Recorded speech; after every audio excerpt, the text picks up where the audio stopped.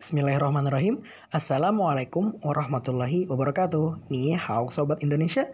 Kembali lagi bersama di Acer Course. Kita lanjut uh, untuk pemula bahasa Mandarin bilangan atau angka dari 9 sampai 12. Ikuti setelah saya. Mari kita mulai. Ada angka 9 dibaca cio. Cio. Cio. Cio. Selanjutnya angka 10 she. She. She.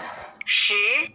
Selanjutnya ada angka 11. Nah, angka 11 ini adalah dalam bahasa Mandarin uh, penjabaran dari angka 10 dan angka 1, yaitu 10 tambah 1. 10 adalah she, ya betul. Dan masih ingat 1?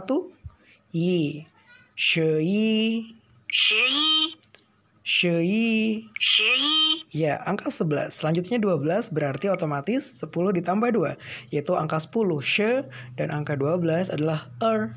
Jadi 12 adalah Sure Sure Sure Sure Iya, seperti itu. Sia-sia, cai-cian. Untuk sesi latihan ya.